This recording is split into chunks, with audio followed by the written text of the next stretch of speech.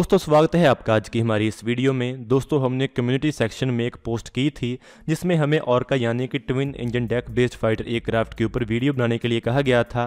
तो आज की इस वीडियो में हम और का फाइटर जेट को डिटेल में जानेंगे। ऑर्का और twin engine deck based fighter aircraft एक ही एयरक्राफ्ट के दो वेरिएंट हैं।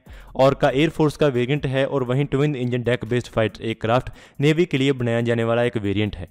इन दोनों में फ़र्क ये होगा कि ORCA twin engine deck based fighter aircraft के मुकाबले में हल्का होगा और वहीं twin engine deck based fighter aircraft एक फोल्डेबल विंग एयरक्राफ्ट होने के कारण एक हैवी एयरक्राफ्ट होगा और इसके साथ ही ये एक एक कैरियर पर इस्तेमाल करने के लिए इसमें एक री लैंडिंग गेयर का इस्तेमाल किया जाएगा, जिससे इसका वज़न काफ़ी बढ़ जाएगा। और का twin engine deck based fighter aircraft के मुकाबले में डेढ़ टन हल्का होगा।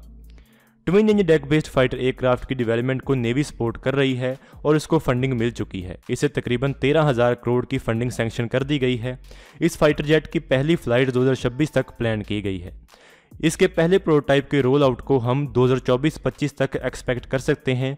ये फाइटर जेट नेवी के मिग 29 के फाइटर जेट्स को रिप्लेस करेगा। ये फाइटर जेट दो हज़ार तक प्रोडक्शन में एंटर हो जाएगा। ये fighter jet Rafale fighter jet की क्लास वाला एक फाइटर जेट होने वाला है और रिपोर्ट्स हैं कि ये राफेल फाइटर जेट से ज़्यादा बेहतर होगा और उसके साथ ही ये एफ़ एटीन फाइटर एयरक्राफ्ट और राफेल एम एयरक्राफ्ट के मुकाबले में सस्ता होगा। एयरफोर्स ने अभी इस फाइटर जेट की डेवलपमेंट को सपोर्ट नहीं किया है, लेकिन मिनिस्ट्री ऑफ़ डिफेंस ने कहा है कि इंडियन एयरफोर्स भी इस प्रोजेक्ट में शामिल हो। इंडियन एयरफोर्स पहले ही बहुत सारे फाइटर जेट प्रोग्राम्स को सपोर्ट कर रहा है, इसलिए वो एक नए प्रोग्राम को सपोर्ट नहीं करना चाहते हैं।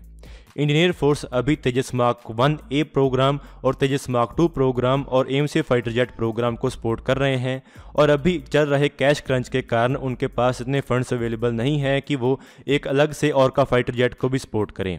लेकिन अगर हमारी स्थिति इम्प्रूव होती है तो शायद इंडियन एयरफोर्स भी इस फाइटर जेट प्रोग्राम को ज्वाइन कर ले। अगर ये एयरफोर्स में शामिल होता है तो ये राफेल फाइटर जेट की क्लास वाला फाइटर जेट होगा और ऐसी रिपोर्ट है कि ये एस यू थर्टी एम के एयरक्राफ्ट को भी रिप्लेस करेगा। Twin engine deck based fighter aircraft एक 24.5 टन का फाइटर जेट होगा और एयरफोर्स के लिए बनाया जाने वाला और का फाइटर जेट एक 23 टन की कैटेगरी वाला एयरक्राफ्ट होगा। इस फाइटर जेट में 13 हार्ड पॉइंट होने वाले हैं, बाकी इसके स्पेसिफिकेशन के बारे में अभी कोई क्लैरिटी नहीं है। इसके डिज़ाइन के बारे में अगर हम बात करें तो ऐसा बताया जा रहा है कि ये एक ट्विन इंजन एयरक्राफ्ट होगा जो कि कैरियर ऑपरेशंस के लिए आइडियल कन्फिग्रेशन है। एक दूसरा इंजन लगा देने से इसका वज़न काफ़ी बढ़ जाएगा और उसके साथ ही इसके पूरे एयर फ्रेम के इंटरनल स्ट्रक्चर को रीवर्क करना पड़ेगा। उसके साथ ही इसके कंट्रोल सर्फेसेस को भी रीडिज़ाइन करने की ज़रूरत होगी। पुराने कंट्रोल लॉस इस एयरक्राफ्ट में काम नहीं करेंगे, इसलिए इसमें नए कंट्रोल लॉस की ज़रूरत होगी।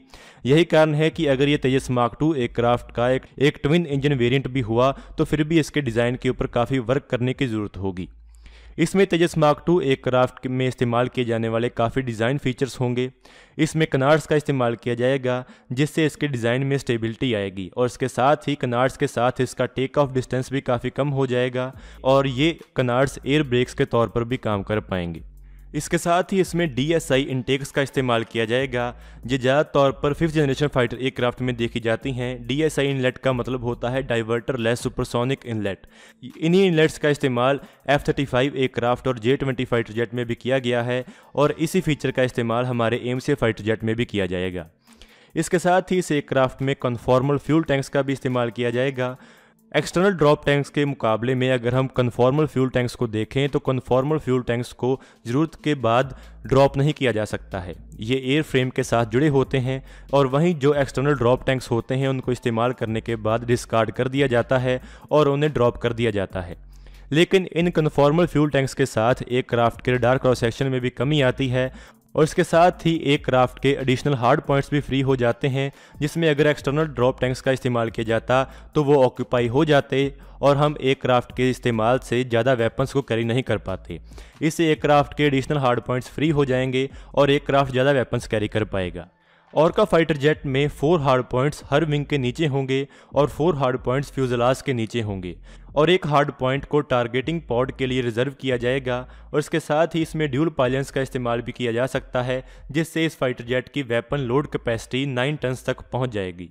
इसके इंजन के बारे में अगर हम बात करें तो इसके बारे में ऐसी रिपोर्ट थी कि इसमें जनरल इलेक्ट्रिक का F four one four engine use किया जाएगा, जो कि तेजस मार्क टू में यूज़ होंगे। लेकिन अभी ये कन्फर्म नहीं है, क्योंकि जब तक इसकी डेवलपमेंट कंप्लीट होगी तो तब तक एम के लिए बनाया जाने वाला इंजन भी तैयार होगा, जो कि इसमें यूज़ किया जा सकेगा। अगर इसमें G E F four one four engine use किया जाता है तो इसमें लगे दोनों इंजन्स का कंबाइंड वेट थ्रस्ट 196 केएन का हो जाएगा। इसके रडार के बारे में अगर हम बात करें तो ये एक उत्तम ए एस रडार का इस्तेमाल करेगा, जिसका साइज़ एक क्राफ्ट की नोज़ कोन के ऊपर डिपेंड होगा। अगर बड़ा नोज़ कोन हुआ तो ज़्यादा पावरफुल और ज़्यादा टी आर मॉड्यूल्स वाला रडार इसमें लगाया जा सकता है। और और का एक बड़ा एयरक्राफ्ट होने वाला है तो इसमें ज़्यादा टी आर मॉड्यूल्स वाला उत्तम ए एस रडार लगाया जा सकेगा। सू थर्टी एम के एक क्राफ्ट के लिए हम एक बड़े उत्तम ए एस रडार के ऊपर काम कर रहे हैं, जो कि इसमें यूज़ किया जा सकता है।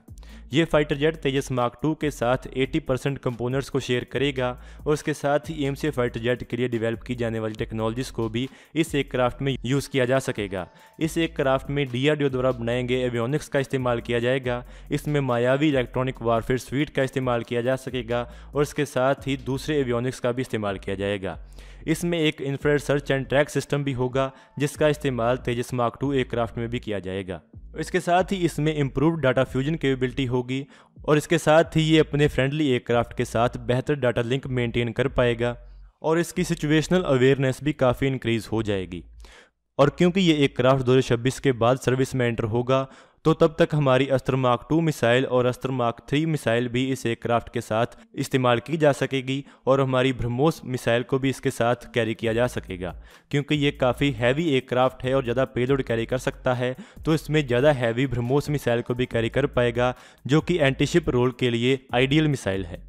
ये एयरक्राफ्ट हमारी नेवी के लिए राफेल एम एयरक्राफ्ट और एफ़ एटीन एयरक्राफ्ट के मुकाबले में एक बेहतर और एक सस्ता अल्टरनेटिव है। लेकिन ज़रूरी बात यह है कि ये एयरक्राफ्ट कितनी जल्दी डेवलप किया जा सकता है।